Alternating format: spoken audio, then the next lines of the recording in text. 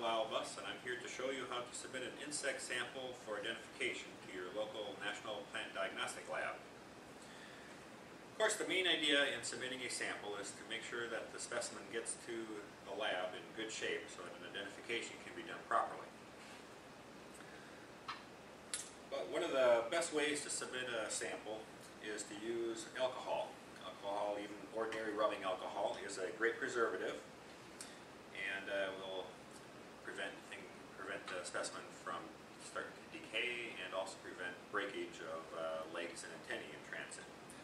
So for example here I have a spider to identify. You want to find some kind of container that seals well and uh, doesn't let liquids leak.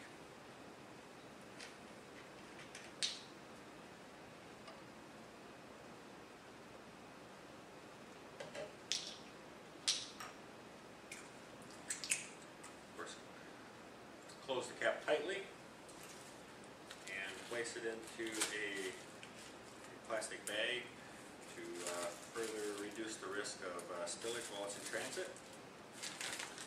I like to uh, have the specimen wrapped up in uh, newspaper or paper towel, some kind of padding to uh, keep, also prevent anything from breaking or getting crushed in, in the mail. Uh, A small box is much preferred over an envelope, even a padded envelope. Official submission form for the lab, fill that out as completely as possible with your contact information and any kind of information that might be helpful to the identifier as far as uh, uh, where the insect was collected, what kind of damage it was causing, and so forth. Place the submission form into the box,